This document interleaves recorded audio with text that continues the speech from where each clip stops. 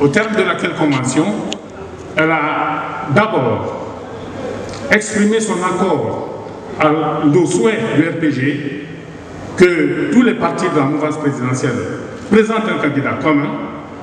Et deuxièmement, la CODEC a été plus loin puisqu'elle a décidé d'accorder son investiture au professeur Alpha Condé. Mais je vais vous poser une question. Est-ce qu'il y avait une alternative au professeur Alpha Condé? Est-ce qu'au jour d'aujourd'hui, il y a sur la scène politique, sur la scène civile, quelqu'un qui est capable de relever les défis du développement, les défis de la paix, les défis de la cohésion sociale, les défis de la stabilité pour notre pays?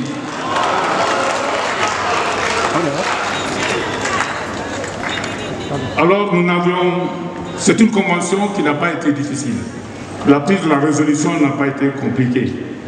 Parce que nous sommes dans un pays où il y a malheureusement beaucoup de mensonges. Et un des scandales de la Guinée, on dit souvent que la Guinée est un scandale géologique, mais l'autre scandale, c'est quand j'entends dans les médias, j'entends partout dire que le professeur Alpha Condé en 10 ans qu'il n'a rien fait dans ce pays.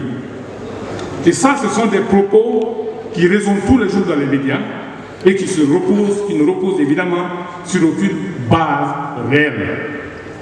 Le discours que nous avons tenu à notre convention et qui mettait en évidence les importantes réalisations de la gouvernance du professeur Alpha Condé.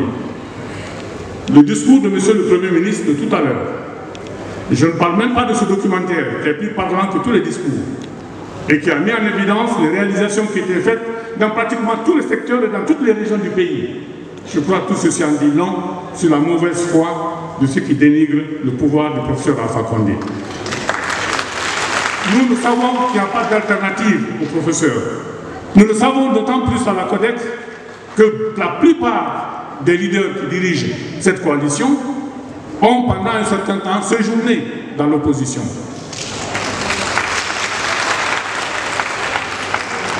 Parce que nous avions à l'époque des revendications que nous portions et pour lesquelles nous voulions qu'il y ait un dialogue qui permette d'en tenir compte et de résoudre nos préoccupations.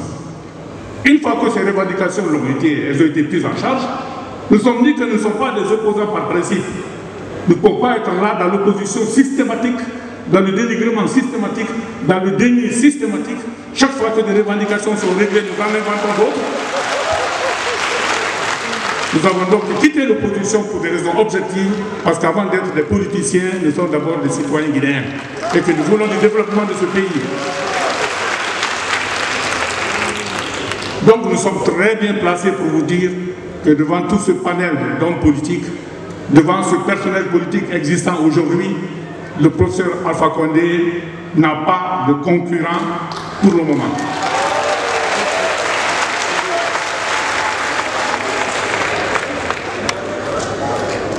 La CODEC est une coalition de partis politiques composée de leaders politiques déterminés.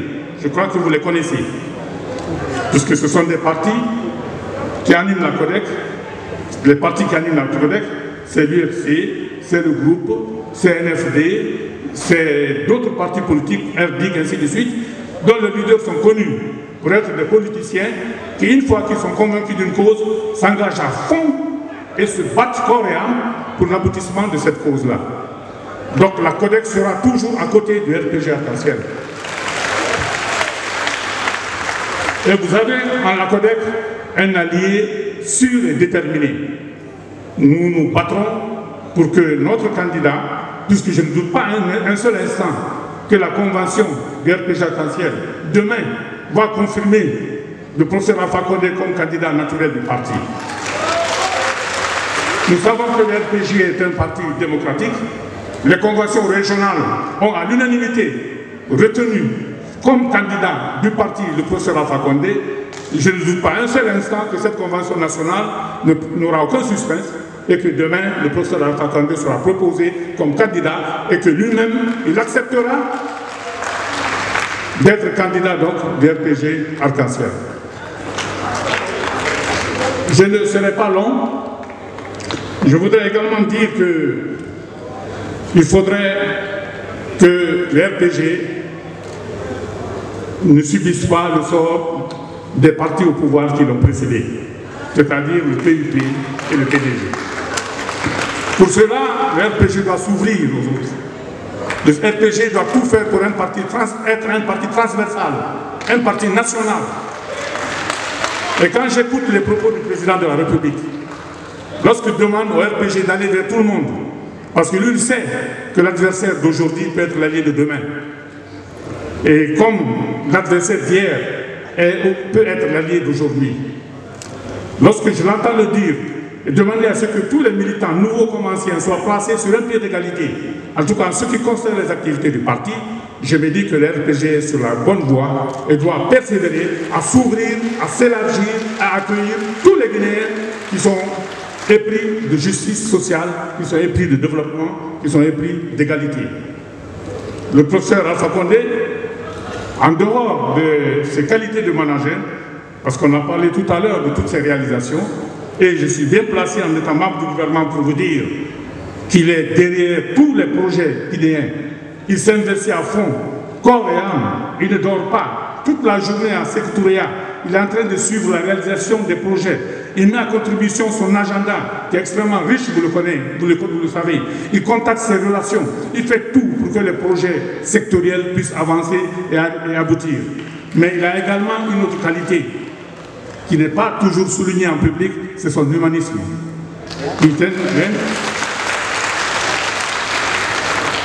Et là aussi, je suis bien placé pour le juger. Parce que je suis ministre d'État, je suis porte-parole du gouvernement, donc je suis un de ses proches collaborateurs.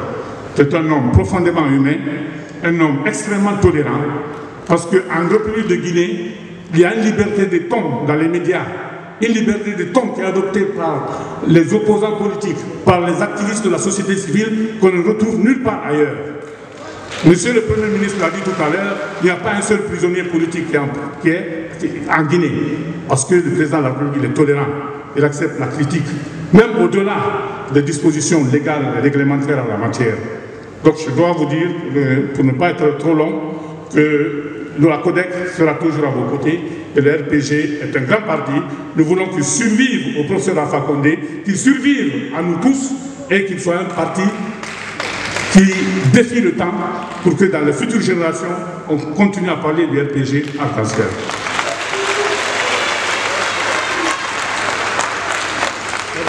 Donc je voudrais terminer en souhaitant que la victoire de notre candidat au mois d'octobre et le début d'un nouveau mandat au mois de décembre, ainsi que la mise en œuvre de la nouvelle constitution, soit le début d'une nouvelle ère, une ère de changement dans la continuité.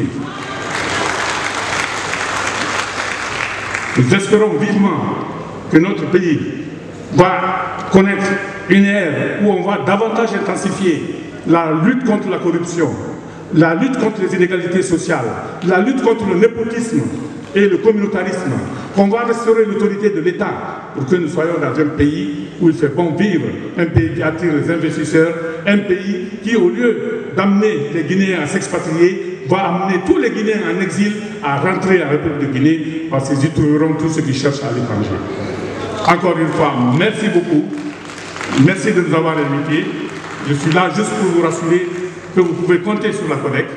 Nous serons toujours présents à vos côtés et je suis certain que la victoire sera au bout. Je vous remercie.